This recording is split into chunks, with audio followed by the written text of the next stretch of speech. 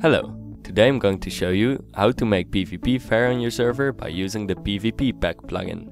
This plugin has a couple of features that make PvP combat on your server a lot more balanced. For example, by default it disallows PvP teleporting and punishes PvP logging by dropping the player's items on the ground.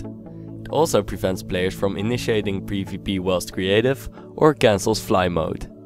It hooks in with other plugins like Vanish and Disguisecraft to disable unfair advantages.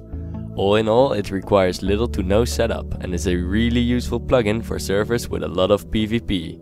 We highly recommend you check it out, link is in the description.